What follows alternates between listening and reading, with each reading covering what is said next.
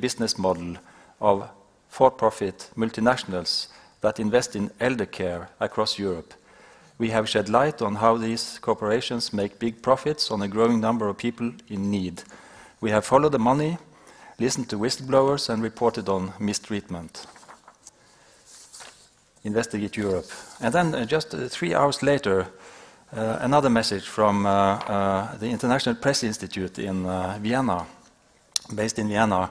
They have, a, since 2018, I think, a big uh, investigative journalism program called uh, IJ4EU, or Investigate Journalism for Europe.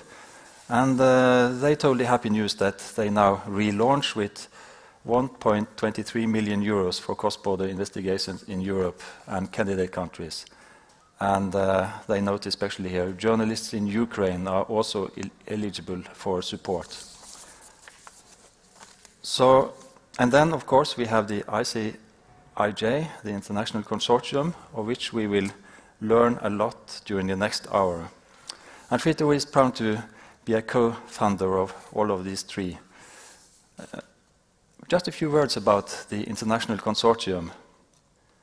Their recent collaborations have involved hundreds of the world's best investigative reporters. Working together, they brought down four, world leaders and recovered more than 1.4 billion American dollars in unpaid taxes for governments in every continent. And laws have been changed in more than 52 countries as a consequence of the journalism carried out. Multiple people have also gone to jail. And along the way, from Panama Papers and till today, a new kind of cross-border accountability journalism has emerged. And this will be the subject of today's discussion. By the way, it is a paradox that all of this groundbreaking and important journalism, vital journalism, is struggling to fund itself, to finance itself. At least that is the case for the invaluable role that the International Consortium as an organization itself plays in making all this possible, coordinating it, planning it. Uh, the International Consortium relies entirely on donations to do its work. So I would uh, appeal to anyone in the uh, hall here or following us online to consider donations for the international consortium, small or big. Um, Norway has been one of the biggest supporters of the international consortium through grants from the Tinius Trust, NORAD, and, and also Fritt. But anyway, it is a fact that cross-border investigative journalism is really alive and kicking and very influential. It's setting so many agendas today. And that is really needed just now these days. For at this exact time, we are waiting for Great Britain's decision on whether to hand over Julian Assange to the US. Uh, I don't think the decision has come yet, has it? No. We are waiting for it.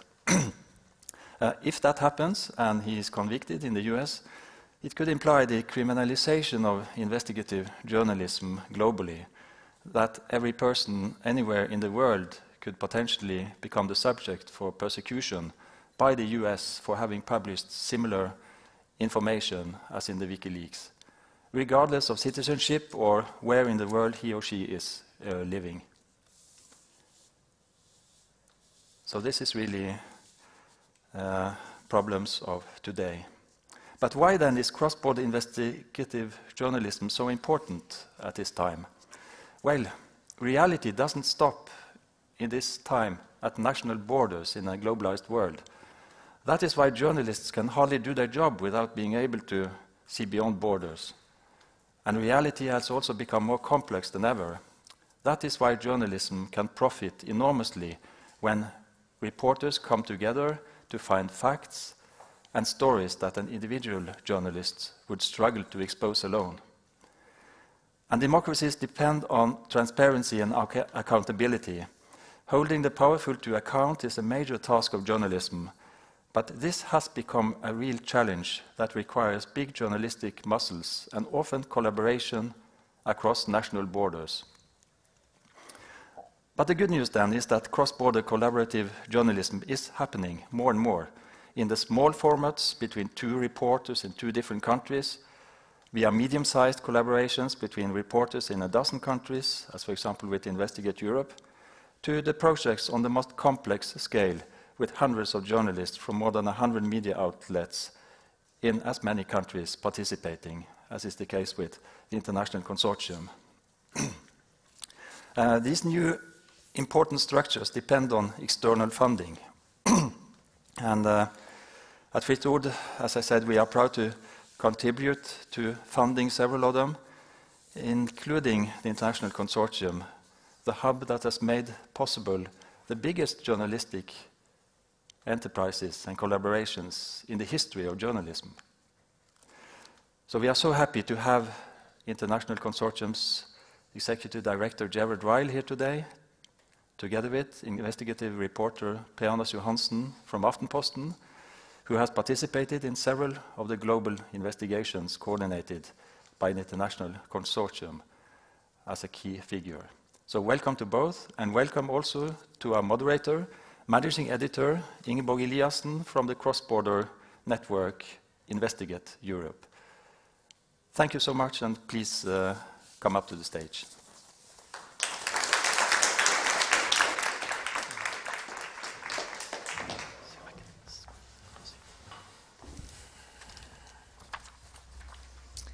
Hi, everyone.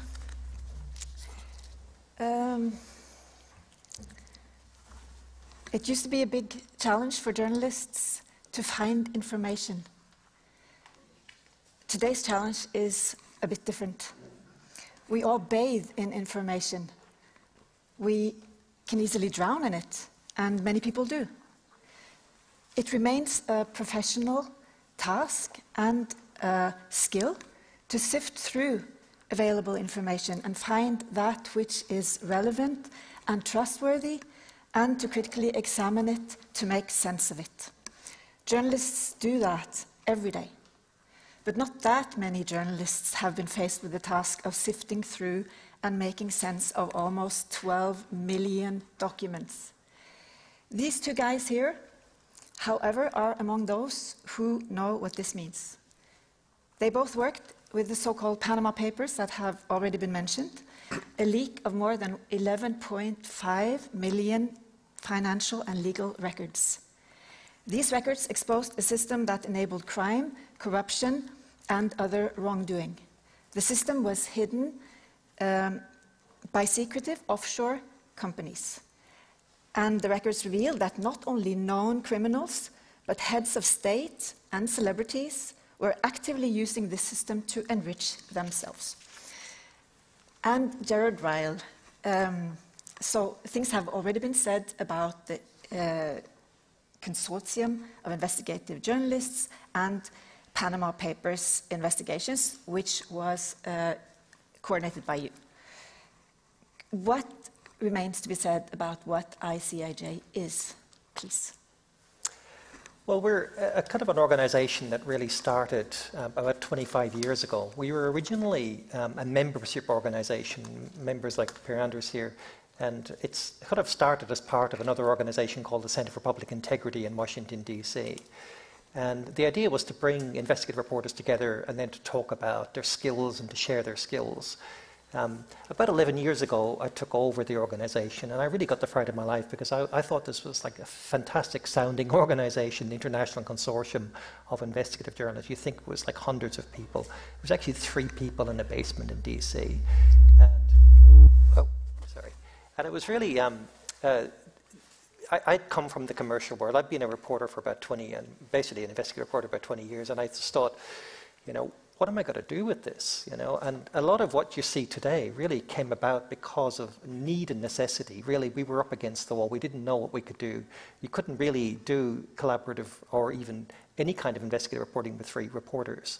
So I decided to change the model at that point, and I decided to do what any investigative reporter um, have, you know, can do for 20 years, you actually know how to find a great story. And I thought, well, if I can find a great story and then bring it to media partners and convince them to give me their reporters, then I can suddenly have an army of reporters. And it, um, it actually started with a very small story. I brought an idea to the consortium when I took over as director. I actually wanted to look at the commercialization of human bodies, how dead bodies were turned into medical products around the world. I mean, if you ever wonder why a, an athlete can get up off the soccer field after you know, ruining their cruciate ligament, think about how that's done. In fact, uh, sometimes a cruciate ligament is taken from a dead body and then transplanted into the athlete, and that's how it happens. But also, an awful lot of commercial and cosmetic surgery comes from recycled human beings. And I started, we started working on that story. I think we had about eight media partners who were interested in it. And uh, we basically did it the way the Center for Public Integrity did things, which is you, you research a story, you hire a couple of freelance reporters, and then you do the story, and then you approach the media partner at the end of the story, which is what is traditionally done in America.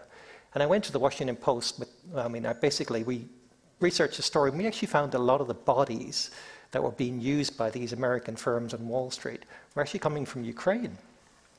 And, and you know, when you're taking a human body and stripping of it its various parts, I mean, human body at the time was worth about $200,000 if you took out its bones and skin and other things. And what they were doing is that, you know, and you need, I guess you also need to know that that doesn't have any pathogens or HIV or hepatitis or other things.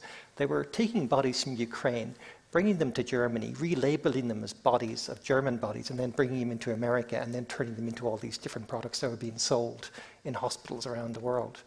And I went to the Washington Post with a story and I said, I've got a fantastic story.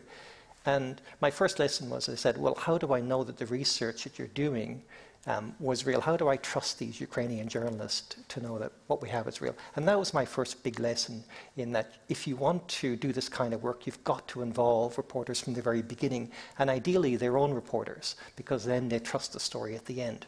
And that also got around the other big issue we had at the time was how do you actually find an audience for the story once you've done it? And that solved my problem. So a lot of what we've done over the last 10 years, don't think that we walked in there with a great master plan. It was actually by doing things wrong and then by learning from them, but also it was very much a collective effort. Everybody brought something to the table. Great, and we'll hear much more about how that evolved. Uh, per Anders, uh, can you spell out what the connection between ICIJ and Aftenposten is? I can't remember really when I, I went into that uh, organization because it, it was a network of journalists that met at conferences around the world. Uh, and um, I remember, I mean, in fact, the first big story uh, that I can remember from ICIJ network was all back in 2004 when I was an editor of chief of news in Aftenposten and we got access to the rules of engagement uh, documents which proved that the Norwegian soldiers in Iraq could be involved in warfare, even though uh, the Norwegian government by that time claimed that this was purely an humanitarian um, mission. But um, I remember very well uh, 2015, I was planning to go to Moscow as a correspondent. I was in the middle of the vacation with my family. And then uh, Ryle and his colleagues said that we have to talk, and uh, I was sitting on a cafe in Vienna because when, when, they call you, you throw away everything. So I stopped my vacation, and uh, we had a talk about. Um, that, that, was the first talk for me about Panama Papers, and my job as a journalist then is to, of course, convince my editors, colleagues that this is something uh, that we should uh, go into. Um, and well, that was the start of a big project, uh, amazing. And um, how many times? If, if you take the, just go nine months uh, after that, I was sitting um, in Moscow in Kutuzovsky Prospect. Have any of you been to Moscow? That's the road that Putin takes when he goes from uh, his home to the work every day. And I was sitting there and uh, writing my part of the Panama Papers, and suddenly there is this emergency press conference in Kremlin. and Putin's press officer says that Russia, get ready, there is an attack coming, an information attack. And then I suddenly understood that they were talking about what I was sitting there and writing and looking into in, my, in my office. I, I felt a little bit scared, of course, but at the same time, I knew that I was a part of a, just a fantastic operation with three, four hundred journalists working on the same issues. So I to myself, there's nothing to be afraid of. This is going to be really exciting. Um, so these Panama Papers began with a leak of 11.5 million documents, which is mind blowing. Um, where do you even start to make sense of something like that? Well, again, by making mistakes. When we, when we first started doing the offshore work, we actually we had a smaller leak of about two and a half million documents. This was back in 2013, and we had this idea at the time that what we'd do is we'd set up hubs around the world and we'd bring the reporters to the hubs, and then we'd they'd be able to look at the documents, and then after three or four days, go home to their home countries and write stories. And we quickly realized that this was a total disaster because the reporters needed access to the documents at all times. And this is where we hit on the idea that if you just put everything into the cloud and allow the reporters to look at rep uh, all of the documents all of the time, you were going to get a much better result. So again, by making mistakes, there was a lot of a long journey from 2011 when I started doing this to 2015 when we were doing Panama Papers, and it was by making the mistakes along the way. We ended up hiring how to make sense of it. We actually build our own technology. We did the Panama Papers, again, on a complete shoestring. Again, we're still sitting there with three people. At this point, I had 10, but we're still working with nothing. We needed to show the reporters all the documents, so we decided to use a system. We used open source software that had been designed for librarians to share their files and to share their book files. And that's how we built our first system that would, would share the documents. And then we also realized we needed a newsroom because we wanted the reporters to go into the online newsroom and to talk about what they were seeing in the documents. Because when you're doing these big projects, you want everybody to share. So if you see the Queen of England on day one, you want to be you want to be sure that someone is sharing that, but not just that, but also the context around what you're seeing, because it's very important to have context. So we ended up building another system, which was our online newsroom, and that was actually built using a, um, software that had been designed for a dating website because we thought, well, how better to get people to meet than to do that. Now, these days, of course, it's a lot more sophisticated, but that is essentially how we did Panama Papers. We got the reporters together to talk about what they were seeing in the documents, and we made all the documents available to the reporters. And it worked a kind of a treat because we basically worked in secret for almost 12 months. We wrote about hundreds of different politicians around the world. We took on not just Putin, but lots of other, other things. And in fact, I was delighted when Putin called that press conference a week beforehand because it almost guaranteed that the world was going to sit up and take, take notice of this story. And, and so, uh, in this preliminary phase, when you sit on the material, you have to somehow find out that, okay, Norway is involved somehow here. So I wonder, Per Anders, how, how prepared you know, how, how, much sense did the material make when you were presented to it, and, and how much remained to be done to make it into something somebody, ordinary people, would want to read? Well, this was not the first leak for me and my colleagues. We, uh, we were also working with the Swiss leaks a few years before, but uh, can you imagine that I was sitting there in Moscow and I had access to everything?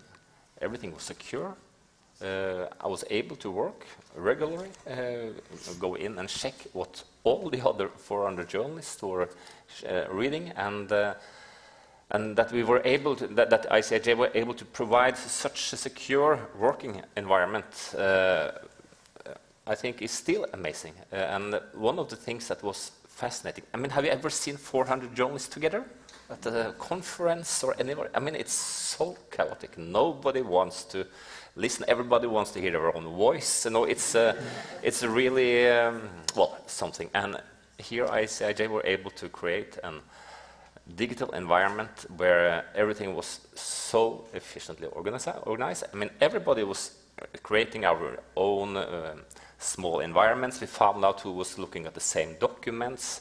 We were de developing different IDs, and and this was just going on and on for for months. And of course, we did not know from the beginning what we will find, find but, um, but I think one of the things that was also important was that uh, we learned from each other and from the people in ICIJ, which of course had peaked from the beginning. I mean, they needed to have some ideas and hypotheses uh, so that we knew that there will be some fishes to be caught.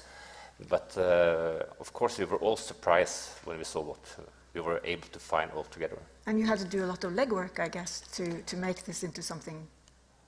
Yes, and here there are, of course, differences between, uh, between the different uh, news media and the staffs. I mean, I, I thought I worked in a small Norwegian newspaper, but suddenly I understood that we have just as many journalists as Guardian, mm. and uh, we spent, Aftenposten spent a lot of resources on Panama Papers, more than 20 reporters working for months, and uh, it, it, of course it costs a lot, but um, I mean, like, for instance, discussing what's the story or not. Try to do that with, uh, with the journalists from Russia and uh, Latin America, Frenchmen. we had all those discussions going on on the, all, on the same time, and I think that must have been some of the big challenges for you, because we did not agree always. Exactly, no. this, this yeah. thing about, you, you said yeah. that you had to respect journalistic cultures that I, differ, and you know, yes, please expand on that. What is this difference? Well, I think it actually brings a much richer journalism because what we've found is that everyone challenges the same set of facts. So if you're looking, you know, if you're working with 600 reporters in 100 different countries, they're all looking at the same set of facts in different ways. And it does give you a much better perspective, much deeper perspective on what it is you're seeing. And there's a lot of dispute behind the scenes about the interpretation of the facts. And so by the time you actually end up writing a story, you've got a much deeper story. And, and that's probably the one thing that I really like the best about this kind of work is that we're actually doing as, you know, a much deeper, richer kind of journalism as a result of this. Um, but going back to how you get the journalists hooked, you've got to give them a story at the beginning. I mean, the whole thing depends on finding a good story for them. But also the early work that we do at ICIJ is we, uh, with the Panama Papers, for instance, we, we started I mean, the very first job we did was finding the names of all the Norwegians to go to a, a Norwegian journalist. We defined all the names of the Brazilians to go to. And then, then you, it's not like you sit back, but you immediately you think about it, who best to tell you what's important to Nigeria than a Nigerian journalist telling you, oh, that's an important businessman, oh, that's the brother or the sister in law of, of the president. And so you're getting this rich, deep, immediate expertise around the world when you're doing these things. But it doesn't work for every story. I mean, every story you do has got to be this kind of unique. Um, it's got to have unique information from each country. Otherwise, we, we wouldn't be able to get the media partners to, to get involved. Because no money changes hands. We don't pay anybody for anything. And we certainly don't pay the reporters. And I don't, like, I'm not in charge of the Aftenposten team. They still work to their, to their normal editors. And we don't tell Aftenposten what to even decide what they find in the story. It's up, entirely up to them. Um, I mean, there's a reason for that too, in that we don't have to worry about getting sued in Norway because it's their problem, not ours. You know. Yeah. But could you, could you, you had this uh, very, to me at least, very uh, fascinating example of how, in, even if it's like that, uh, you have to then take into consideration that people have different ways of working, even when it comes to, uh, for instance, confronting those you are investigating. Could you uh, share that? Yeah, I mean, if people remember Panama Papers, we, um, we basically had a lot of world leaders there, and we had a lot of politicians around the world. We had to listen to the reporters as to when to confront people. Now, Per Anders is mentioning Putin. Putin was, we, we actually went to Putin last. With some of the, um, the other people, we went to many weeks in advance, because in, in America, it's important that you get um, a response from somebody. So we tend to go four weeks in advance. But the Russian reporters were saying, please don't do that, because the moment you tell the Kremlin what's going on, they're going to do exactly what they ended up doing. And so you've got to listen to each reporter. Like, probably the most famous scene from Panama Papers was the Icelandic prime minister. You know, and again, talking about context, we had his name from day one. We, we saw it there. We thought, here's the Prime Minister of Iceland. We have a great story. And then when you look deeper, you realize that he had, the context was that he had this secret offshore company he told nobody about. Um, and we saw it in there, but we realized that when he registered the company, he wasn't even a politician, he was a businessman. And so, therefore, on the face of it, it wasn't a story. And so, we had to bring an Icelandic reporter into the, into the mix. And he was the one who did all of the work that turned that fact into a story. He eventually went through all of the um, the bankruptcy records of the Icelandic banks. If you remember at the time, there was a huge collapse of the banks, and he went through all the bankruptcy records and he realized that this company actually had a financial interest in the banks. And now it became important because here's a prime minister who'd been elected to sort out the financial mess, and it was he was the one who was going to decide who was going to get compensated for this financial mess. And secretly, he had a company that potentially could have got compensated for it. That is why it became a story, and that took That reporter, nine months, and you know, he gave up work. He literally lived off the earnings of his wife during that period of time because he knew that if he told anybody that it was likely that um, it was going to get out. And then in the end, he had all these ethical dilemmas about how he was going to confront the Prime Minister. And in the end, he decided that if he did it, that the Prime Minister was going to immediately know what was going, something was wrong, and he wouldn't do the interview. So we ended up bringing our Swedish colleagues over to Iceland, and that famous scene where he gets up from the the, the interview and walks out of the room after being confronted with the information. That was all filmed by a Swedish film crew. And again, it's a fantastic example of, of collaboration. I mean, those images, they went around the world. But to finish that, we'd actually given him three weeks to respond. So he had three weeks to knowing that this was coming down the tracks.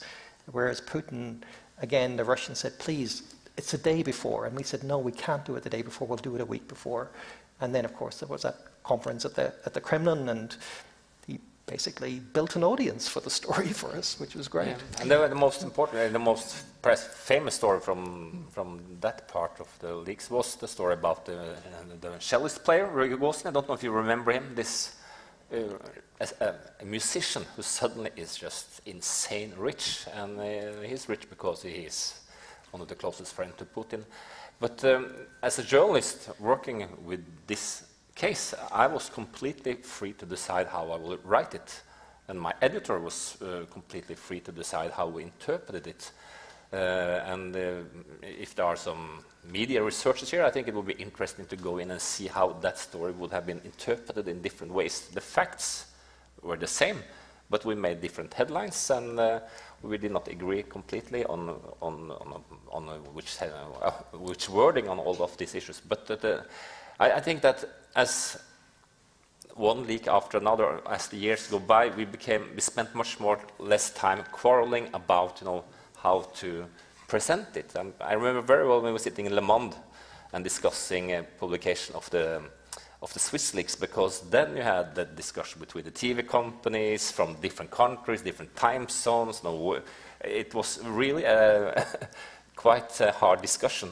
And uh, when it comes to when to publicize, I think now uh, we, um, at least uh, little often, Aftenposten, we accept that uh, somebody has to decide when we do it. And there uh, you have to have some uh, luck too with the timing, because of course uh, um, journalism is timing, and some of these issues have been really good timed, and that is not something I will boast about. Yeah, we, yeah. we were lucky with Panama in that we um, we had originally planned to publish the story in February in 2016. God, I've lost track of time. And um, yeah, there was a, a, minor German election, a local election, and we decided to publish it on the 3rd of April instead.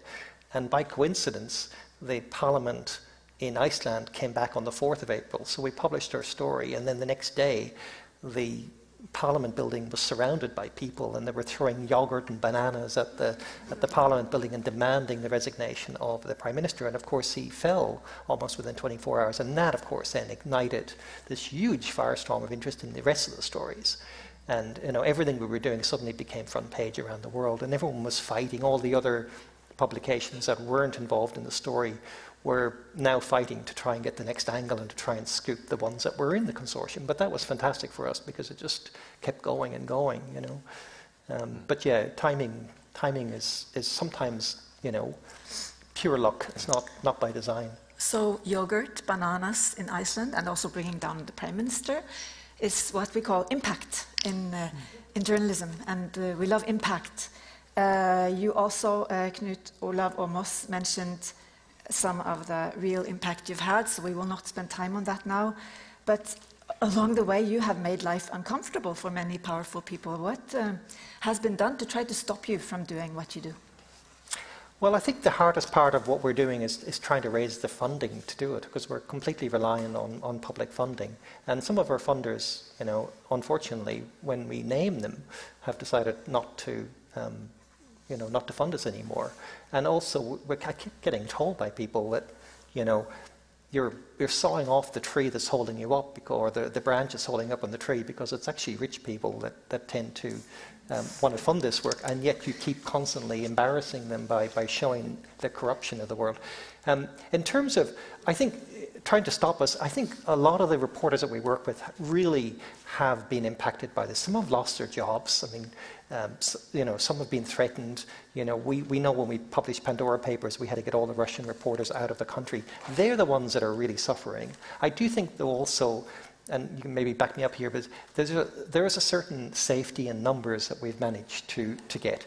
Because there's no point in taking out one reporter when you've got 600 reporters from all these different countries reporting on a story. absolutely. Yeah. I mean, when you are, uh, I think that's one of the most valuable things about working together in a project like that because there is a safety. I mean, it's like a small fish swimming around in the sea. You can be eaten, but when you are in a steam, of course, it helps you on physical security, I think. Uh, one of the journalists who had biggest problems after Panama Papers were the Ukrainian journalists who, who, who revealed a story that we all knew would be big, but perhaps not so big as it became because of the way that the Ukrainian president handled it. But you know, perhaps remember the Chocolate King, as he was called, who was supposed to, to clean up the Ukrainian society against uh, corruption and, and many other things one of the things that the Ukrainian journalist and ICIJ found was that he had already installed and made his own uh, several companies, uh, offshore companies, uh, where he could uh, steal money. And, and the Ukrainian journalists, they were hunted and had a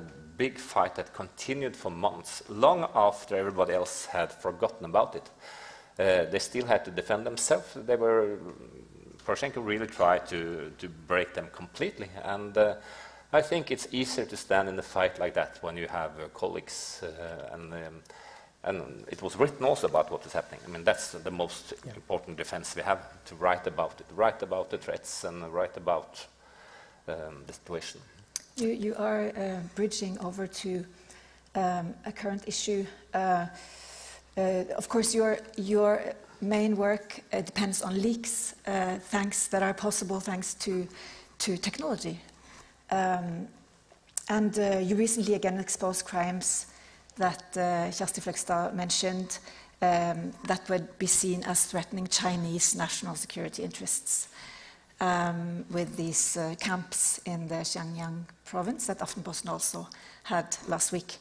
Uh, but the people who first demonstrated the power of such leaks when teaming up with media organizations in many countries were Julian Assange and, uh, and uh, WikiLeaks back in 2010.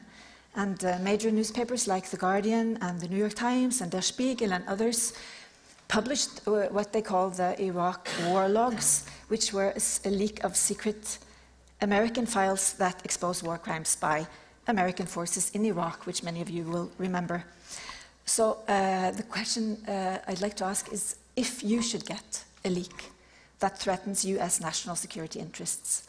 What would you do to avoid being hunted, charged, and potentially jailed for 175 years? Which is the situation that Julian Assange finds himself in at the moment?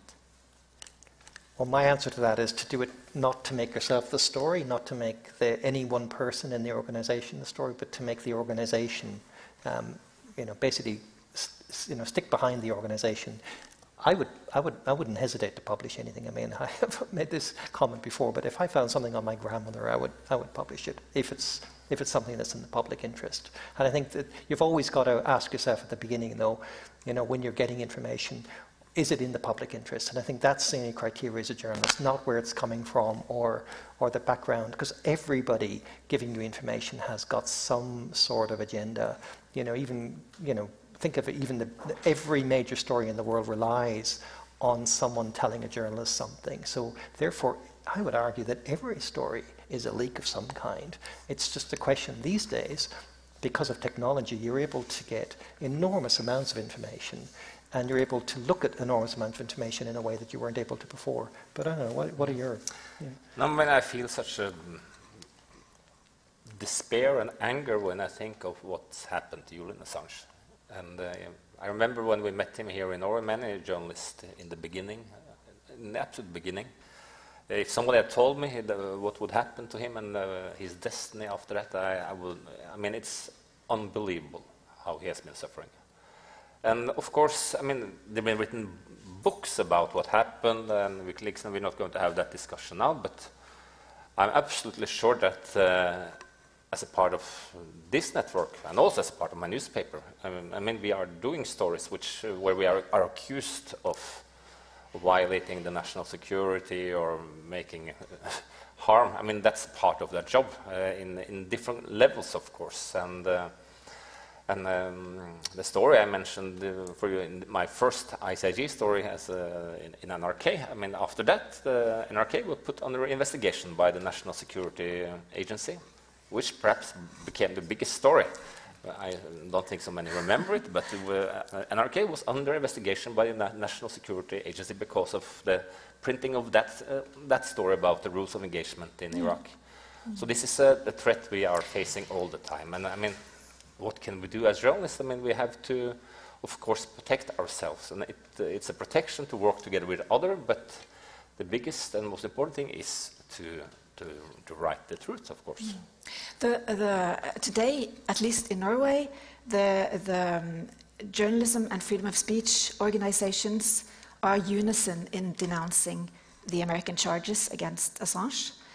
But this sympathy has not uh, been at display at all times in these, all these years, and not even by media that um, published information from WikiLeaks, such as Aftenposten. Uh, so, in, in your, uh, you know, uh, with 2020 hindsight, uh, how do you assess Aftenposten's legacy in, uh, no, I think if you go back and uh, write and, and, read the stories you made, because I'm sure you haven't read them either, because uh, it's a long time. We personally, I wrote tens of stories based on WikiLeaks, uh, while NRK, Dagbladet, many of the me uh, medias, they were writing about these things that were happening in Sweden and the sex education, but we were writing about what uh, what WikiLeaks really was about, and those stories had impact all over the world. Uh, I would never write those stories again, which really had so many quotes, uh, which were discussed in so many countries. And I think that was the most important thing we did. I mean, that was the whole essence of WikiLeaks to bring the information out. And, um, and of course, there has been a debate about uh, all, the all the corners and the crossroads that happened with WikiLeaks and that, but I think that's a different discussion. Now we are talking about uh, the cables, and of course, it's. Uh, I, am really sad about what happened, but uh, I think um, the fight will have to continue no matter what they decide now. Do you, both of you, do you, if Assange should be extradited to the US, to what extent do you fear that this will not only silence him as a person, but threaten investigative journalism as such? I mean, everybody is not in the ICIJ. No, and but I mean, I just want to say something about ICIJ here because I mean, it sounds so big, you know, uh, consortium, but you know, it's just a few persons. Uh, personally, I, I, really, I would wonder what would happen if something happened to Geir here, because I mean, he personally has been uh, so important, and there are so few people around him too. So it seems so big, and the impact is tremendous, but it's really just a few journalists sticking their head together and getting the shit right. You know, it's uh, to say it very simple, and uh, uh, so there are, these are very small uh, groups, and it has to do with trusting each other, working together, and I, uh, I was not a part of the WikiLeaks uh, environment. I don't, I don't know why they've been writing so many books. Of course, I I know there's something went very wrong, but it has to be, it, it's important when journalists work together that you are able to trust each other, finding ways of solving the conflicts, and always remember what's the most important thing, and that is bringing the story out, of course. Mm. There's also this issue with, uh, I mean, someone leaks, someone leaks these things to you, uh, and uh, it could be good, uh, big things or small things in, in terms of, uh, of uh, data. But uh, being a whistleblower is also a risky thing, and, and it may destroy your social life. We know that from Norway. It may cost you your job, even. It may lead to prosecution, and in some instances, in some places in the world, it could threaten your life. Um, so, for journalists, uh, source protection is a big thing, but it's become very difficult to guarantee a source uh, total protection in our digital age. So, I wonder how, how can you protect the people who leak to you? Yeah, I mean, I think, you know, all the whistleblowers I've ever met that have gone public have had their lives ruined by doing it. Um, it really takes over their life. They, are either um, they just become obsessed with it, or you know, it, the, the, the injustice that takes place in most cases um, basically destroys them. My answer to that has always been, and again, you'll see ICIJ's track record here. Don't don't go public if you're a, if you're a whistleblower. Just you don't need to. I think again, it's up to the journalist to assess the public interest in what you're what you're doing. But if you go back to Panama Papers, it was a, a person called John Doe. He or she has never been found. Our Paradise Papers project, that person's never been found. Our original story in 2013 that did this has never been found. Pandora Papers last year, the biggest project in history, no one knows who the leaker was. Um, and I think that's the best thing you can do as a journalist to protect your source. Now, that does take an awful lot of hand holding behind the scenes to make sure that the source is comfortable with that because your natural inclination when you're a whistleblower, if you see something wrong, it's what drives you. You want people to know what you're doing and, and you want to be able to make a statement. I think John Doe from Panama Papers got around that by publishing his manifesto which again I think I would encourage everyone to go back and read because it was actually very well written and very well put together. And he, he was basically explaining why he or she did, did that. And, um, and I thought it was very powerful and a fantastic way to handle it. And again, the person's never been found, which is a great outcome. So, so one thing is not kind of marketing yourself as mm. I'm the whistleblower here and uh, yeah. listen to me. This is one thing, but uh, I mean, you leave traces everywhere you, you live, digital traces. Uh, it's, it's been 10, 10, 15 years since at SKUP, the Norwegian uh, conference, uh, there was a security expert who said, you know, you practically you have to, you have to meet your source uh, in, in the forest, or you have to put pieces of paper in trees, you know, to, to guarantee, uh, you know, uh, how, can you be more specific on how you can communicate with a source without it leaving that kind of trace? Well, most mistakes made by whistleblowers are made before you actually get to talk to them. The moment you get to talk to them, you can give them advice on, on what to do and how to do it. There are many ways to communicate these days. You don't need to leave traces anymore. I mean, I think those days, certainly at the beginning, it was very easy. What you have to learn is that the security services are not monitoring you 24 hours a day. They're not listening to your phone calls. They don't have time for any of that. But what they can do, and what, what they're very good at doing, is tracing events afterwards. So cross-referencing your, your flights, what countries you went into, um, their call charge records on your phone. They may not be listening to what you're saying on the phone, but they, they can actually work out who you've been phoning. So again, taking very simple precautions as a journalist, you know, not using, you know, having different phones and different different SIM cards and other things, you can actually prevent a lot of that. And also, like I still think that the best way to to talk to a source is to actually still meet them, but make sure that that you know afterwards can't be cross-referenced. I know you're probably more on the ground than I. I mean, yeah, I, I but I mean, with, yeah. the the, yeah. the, environment for journalists isn't very friendly, mm. not even in Norway either. And uh, it's interesting to think that think of that. I mean, have you had any big leaks in this fantastic democratic society we live in, and and why not? Um, is that because there are nothing big to leak about, or is there something to do with uh, control and and loyalty in the systems? You know, I. Um, I mean, we've just been, I've been working a lot with investigations during the um, Corona time, and uh, I think there is one interesting similarity, which you hear from journalists, even if they work in Russia or in Africa or even here in Europe, and I will also say Norway, and that is that, of course, politicians and people power, they, they really don't like us, and they would do very well without us. so uh, when you read to some of the evaluations from the corona, one of the things that the Norwegian government really likes is that they were able to establish a direct line to the people without all these journalists, uh, without all this, this filter, as they call us. Uh, and, uh, and, and, that's the, I mean, in this environment of, uh, of I think, perhaps increasing his uh, hostility, it's important for us as journalists to show that there is a use for us. I mean, in, in Norway, Panama Papers brought back a quarter of a million um, money for, uh, in, in, taxes, which could be spent on many important things. And, uh, and I think this uh, showing the, the, purpose of our job is important for whistleblowers too. I mean, these are persons who, uh, so, who very often have, have a mission. And of course, the most important thing we can do is to protect them. I mean, if you fail doing that, um, you have failed completely.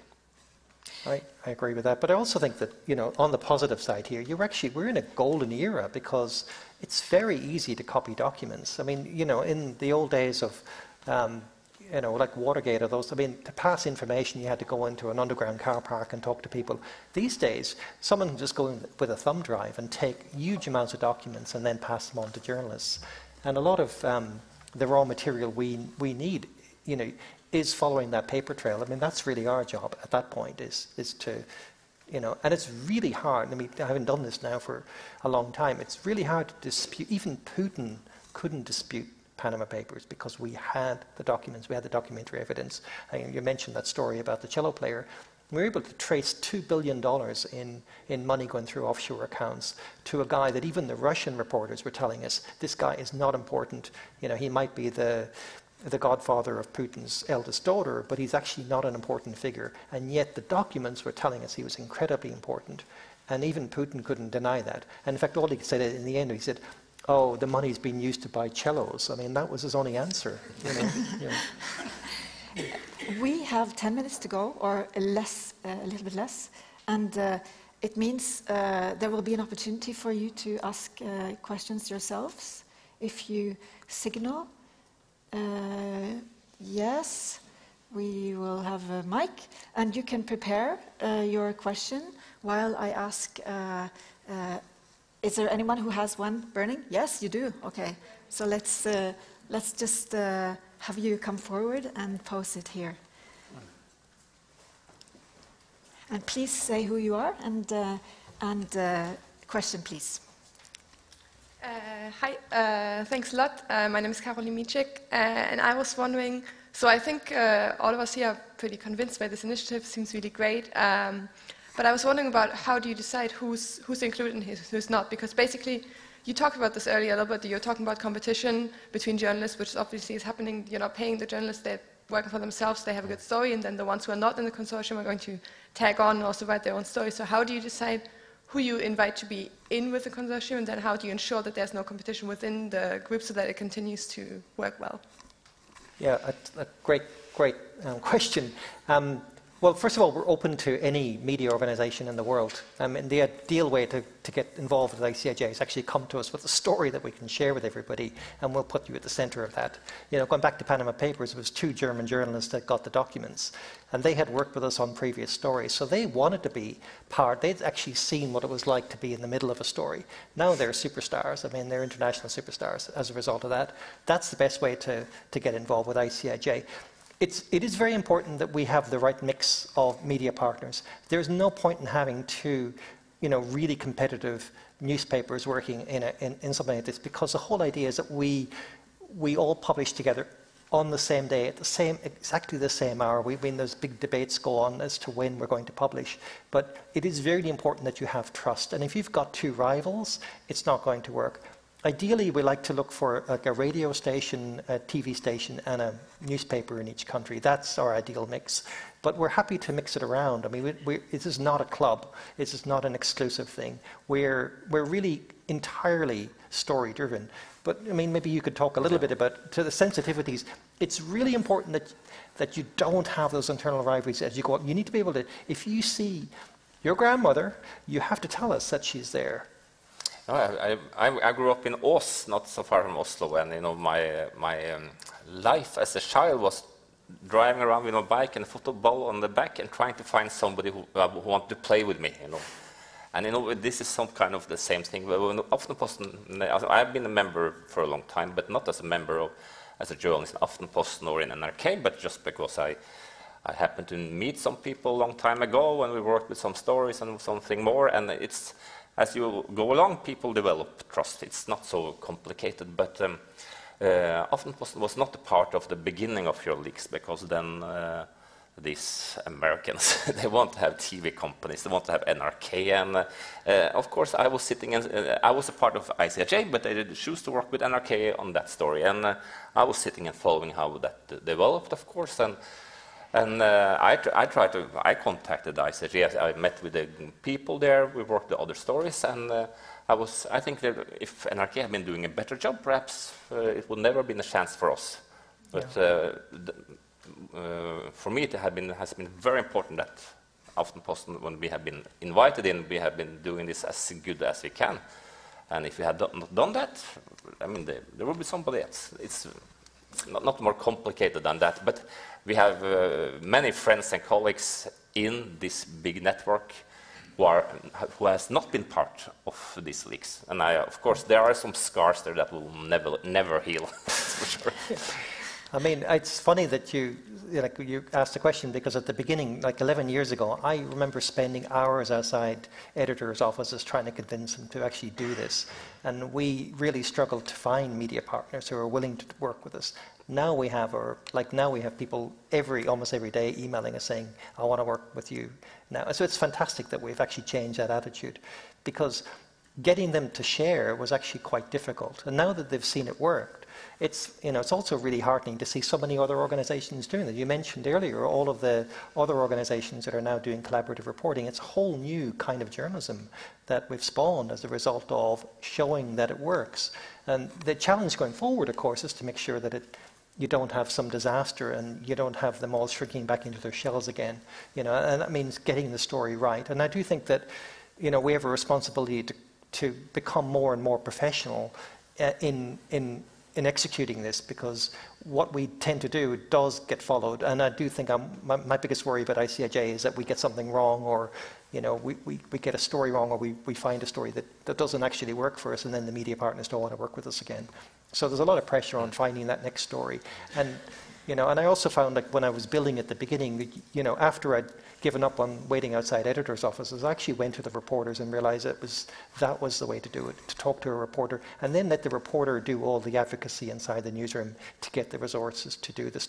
Because if you give a, a good story to an investigative reporter, they will do anything to get that story. And, and, and it's also very important that it becomes their story, not ICIJ. So again, going back to the organization, it's very important that ICIJ is in the background. We're a service. We're not front and center. We're, we don't want to be in the limelight. We want to be behind the scenes, you know, bringing the stories to the media partners. So that was the question that uh, brought really rich answers. And uh, uh, time is running out. Uh, uh, uh, I'd like to ask you, Gerard, for one last short response to this. You've had collaborations involving over 600 journalists at one time. Uh, where do you go from here? Well, my ambitions are that if we had actually, you know, if we were actually properly funded, you can imagine what we could do. You know, if we had a thousand reporters and a, you know 500 media companies around the world all working together, we could, you know, we could bring down a dozen governments. You know, I, I, I, I think it's like what I despair about having having now seen what I've seen is the amount of corruption that's out there that we don't know about. I mean, the contracts for big purchases by governments, probably your government as well. You, you, when you actually see that if you're buying, you know, 55 trains for your, your railway, the, the, the embedded amount of corruption that's in every single, almost every single purchase around the world is, uh, I, I, despair because I just think there's so much for us to do and we're not able to do it because we're such a small organization. I have six reporters. That's all I have. So I have 38 people working for me. 10 of them are technologists building the technology that we need. I have a huge data team of 10. And so I've really only got six reporters and three editors. And we operate like a magazine because apart from giving the stories to the media partners, we also do the global story while everyone else does the, the, local story. And we make those stories available a bit like, you know, like Reuters or AP before the publication, and they can use the stories if they want to or not. Again, we don't take responsibility for anything because we only want to be publishing in the US.